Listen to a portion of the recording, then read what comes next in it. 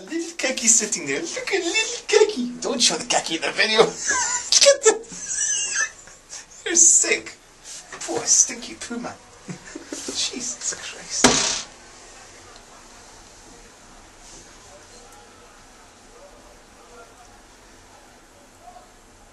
Where the hell did you get this stuff out? Shit. So that's one.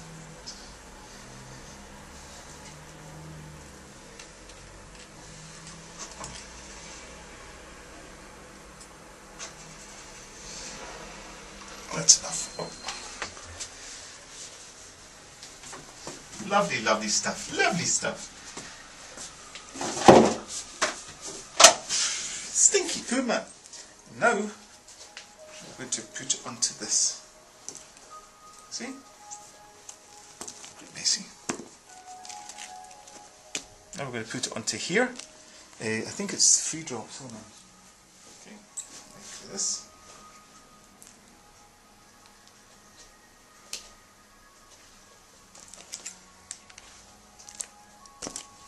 So, four drops of the smelly poo. One, two, three, four. That's it. Now we have lunch. we wait ten minutes. It's starting. Look, you can see it coming up here. Look, see down the bottom here. start to uh, soak the paper. See here. So that means it's it's uh, diffusing up the paper. Uh, Tel Aviv to to uh, Ichilov to do a, a breath test, and the breath test is still not going to be so accurate. You know, it also detects if you have fungus or you have candida, and it, this and it looks like it's coming up uh, Eh, H. pylori. It's not always the case, you know.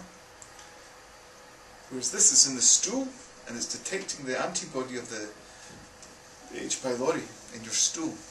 It's far more, it's accurate, you know. Oh my god. Elan, you have H. pylori. You can see the red line, look.